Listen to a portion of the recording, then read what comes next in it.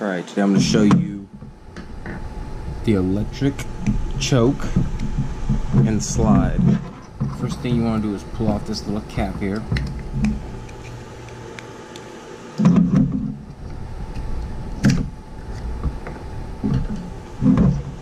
Then you'll find a screw down here.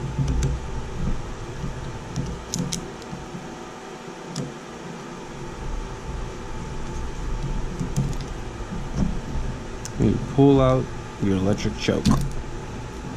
Try not to lose the screws. What you want to check for is that this plunger's still working in here. That needle limits the amount of air flowing into the carburetor when you first start it. Right down in that hole. Put that back in. That's your electric choke.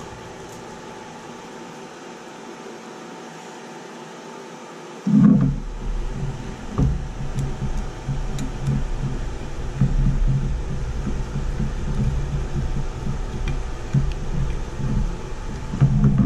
I'm going to show you your slide, your diaphragm, and your needle. The only reason you'd really need to go in here is if you're trying to raise your needle get more fuel.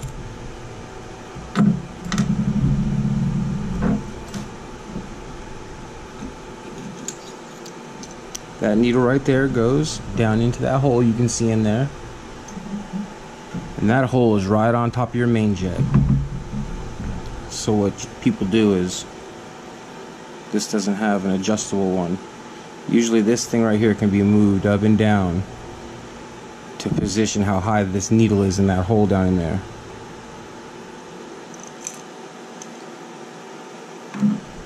That's really the only reason you really need to come in here.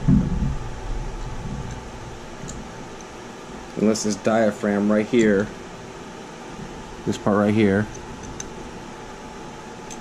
was ripped, then it wouldn't even work right. It has air flowing through these holes here.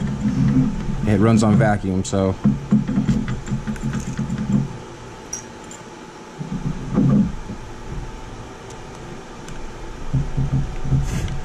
put these screws back on. And that's the inside of the carb and the electric choke